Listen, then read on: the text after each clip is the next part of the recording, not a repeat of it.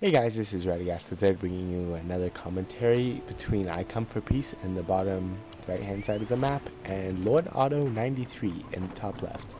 Uh, Lord Otto is a player that I met a few days ago. I was sitting in an online room asking for pro players to come and he came and we chatted for a while and I watched a bunch of his games.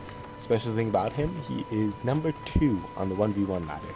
He was number one for like a month or so, he says, but now he's number two. So, yeah, that's his background. And you'll notice he's starting a really unorthodox opening. He's got one, two, three Mallorn trees. And there we go. Four Mallorn trees already. Whereas I Come for Peace went standard with uh, Mallorn tree over here. And then a barracks. Getting an archer up. And yep, there's a second Mallorn tree. So already it's Lord Otto's like what the heck? Five Mallorn trees. yeah, I saw this I was watching this live with I, don't know, two or three other observers and we were like, what the heck is he doing? So he's coming over here. Six Mallorn trees. This guy's out of his mind. But yeah, he's that good and you'll see in a minute.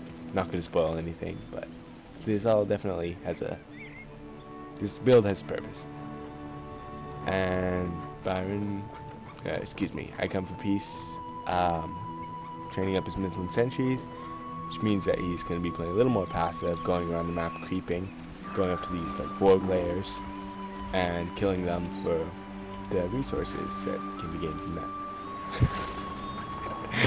Seven Mallorn trees. This guy's on the roll.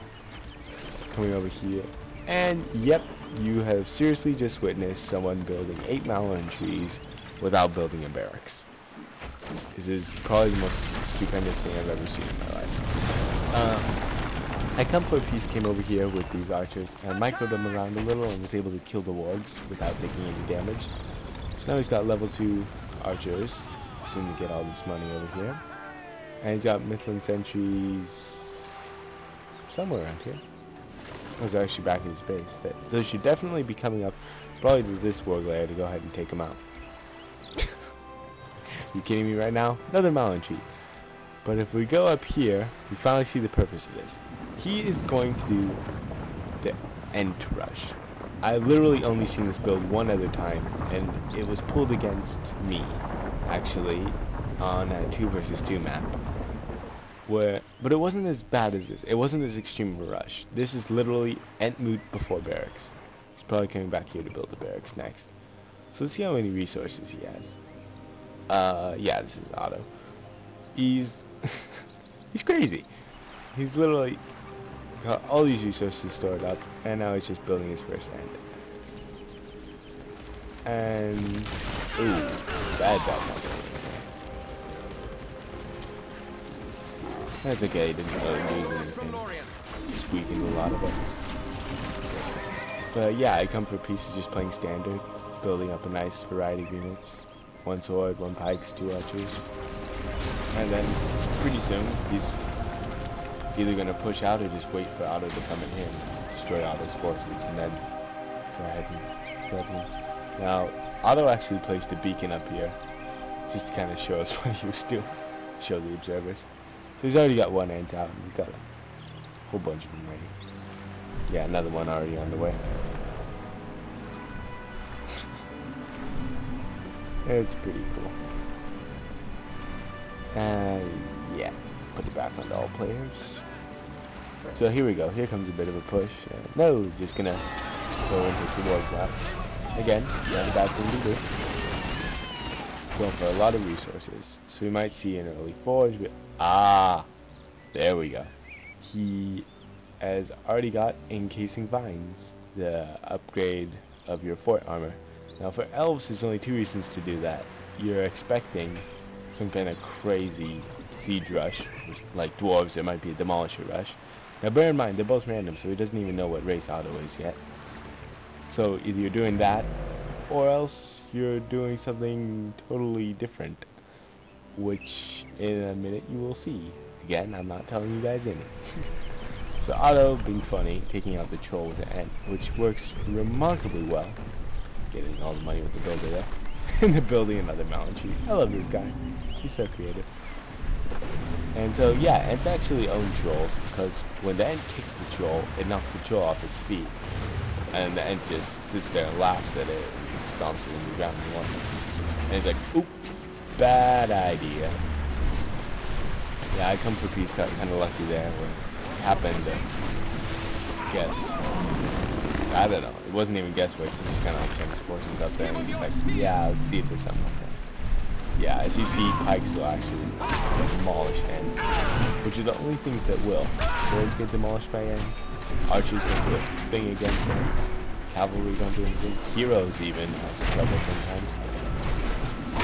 So Otto literally told us, he actually said it on the chat that everyone sees, including I Come Peace, he's just like, yeah guys, I'm totally not playing this standard, I'm just fooling around, having fun. And that's awesome. He's building green pasture Is he even barracks yet? Okay, finally has barracks, but no units yet. Ah, there we go. One group of archers, and that's it. All he has aside from that is an Ent. Two Ents. and a green pasture coming. Uh, you tell me Elspeth is Stanley. And here's the secret of the encasing vines. He's actually getting an eagle's nest and going super fast tech to the giant eagle, which super duper annoying strategy and correct response here, building more sentries to counteract these Ents. But as soon as the eagle gets here, the eagle just, yeah, these Ents aren't a problem. Ouch.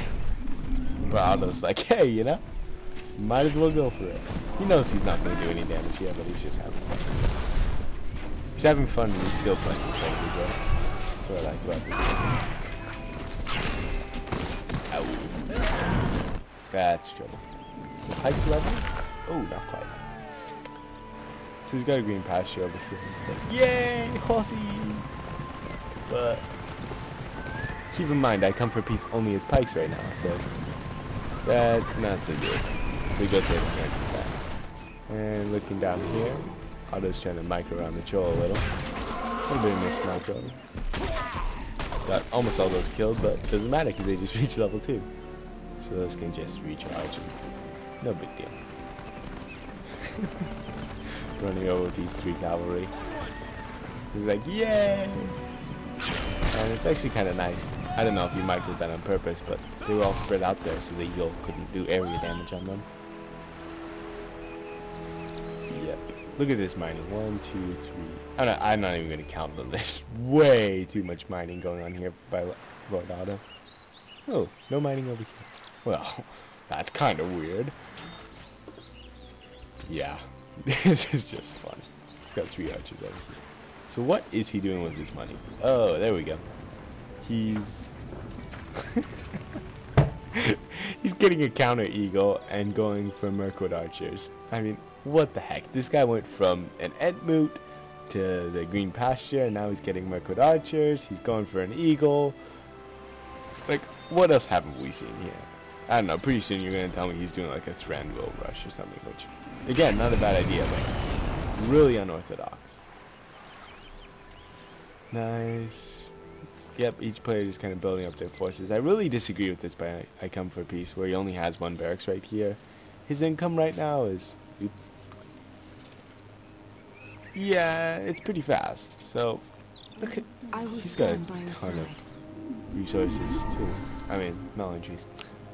Oh, there we go. We got Arwen. We bring swords All right, that's cool. I'll forgive him for that. How much is Otto got? Oops. There we go. Yeah, plenty of money there too. We come from Mirkwood. Am I missing something? Ah, there we go. Doing a little eel harass. Uh, Mirkwood archers are very good versus eagles. And eagles are not too bad versus eagles. So Otto wins that very handily and gets his forge up and immediately starts upgrading. So he's been sitting on his resources for a reason. Not even building units for him.